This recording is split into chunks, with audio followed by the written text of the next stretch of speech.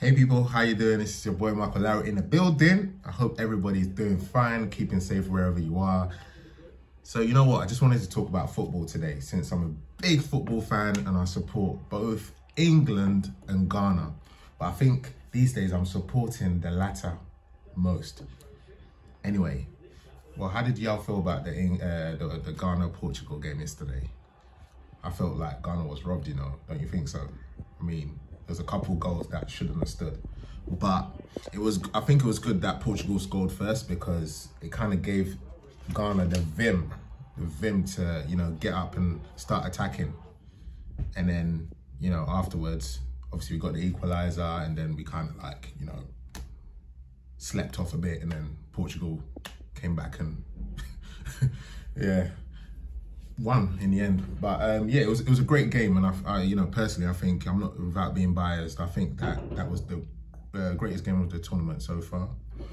You know, apart from you know I think there's other games such as the Saudi versus Argentina game that was great as well. You know, beautiful game, and also the Japan versus Germany game. You know, these underdogs really did great, but I feel like the Ghana Portugal game nails it for me. Anyway, just wanted to talk about England. Why England? Anyway, England is very dear to my heart. Being the country of my birth as well. I'm from Barking. You know about that thing from Barking. yeah, that's where I'm from. I'm from Barking. And uh, yeah, you know, so, you know, very dear to my heart. I love, I love, you know, I love the country. I love the UK as a whole. Um, yeah, heritage, everything. Um, but you know, obviously, like my parents are Ghanaian as well. That's you know, some of you may may already know. So it's kind of like a, uh, you know split emotions, really. You know, sometimes I don't even know who to support. That's what it comes down to. So yeah, I mean, it, it's cool. I just feel like when it comes to England, you know, I, lo I love England. I always want England to do well at tournaments. You know, as is evident in you know the last tournament we had, the Euro, uh, the Euro 2020 um, tournament that got moved to 2021 because of COVID. But we experienced a lot of problems with, with, with the Euros because guess what? The final against Italy, we all remember what happened when, you know, the boys, you know, and when I say the boys, I mean, you know, the black boys or brown skin boys, you know, um, Bukayo Saka, Jadon Sancho, Marcus Rashford, you know, missed their penalties. We all saw how they were treated after after the match and you know all like you know the the racist chants and you know and everything.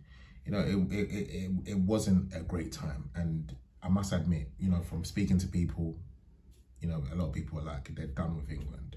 They're done with supporting england because they can't support a team that's that's that's racist whose fans are racist and stuff know what i mean it it doesn't it, it was it was it, it was very vile it was very vile and you know i just wanted to yeah, say that. It kind it kind of made like, you know, the love kind of go down a bit. You know, I, I, love England. I want England to do well. I was so happy with the 6-2 win the other day over Iran and that.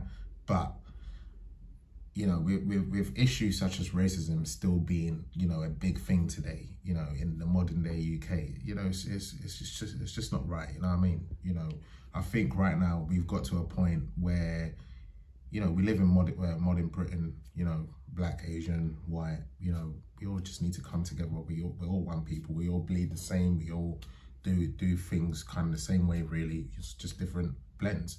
You know what I mean? So why can't we just kick racism out of everything? Not just even kick it out of sport or kick it out of football. You know, just kick it out of everything and let's all, you know, try and live together. I think we're, we're doing pretty well so far, but, you know, there's still, you know, room for like, you know, improvement, room, room for change, you know, room for change.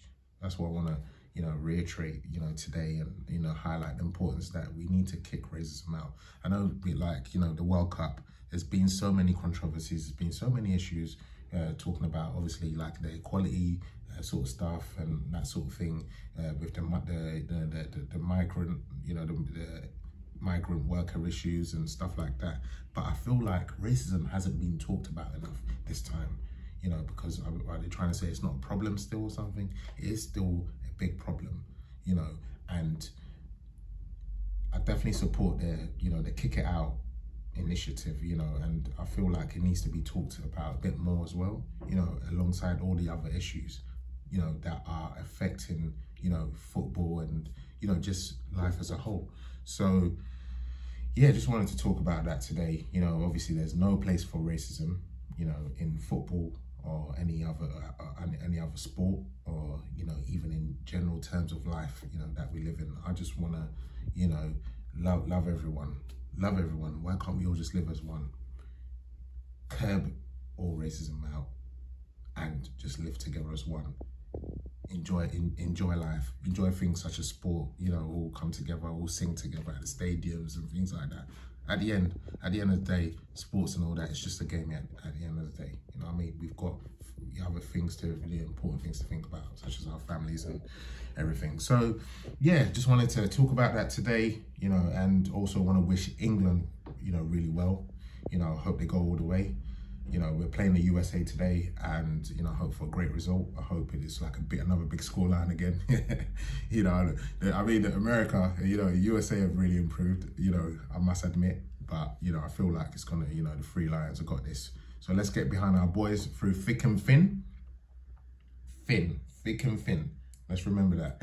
You know what I mean? We need to support them through the good times and bad times. That's what we needed to do last year. And we fell short of that. So let's all get behind the boys and let's go all the way.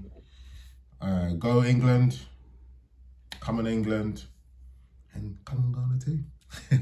yeah, so bless up people. I hope you enjoyed my little talk, you know, and uh, yeah, hope everyone has a great day. Take care of yourselves. Bless up.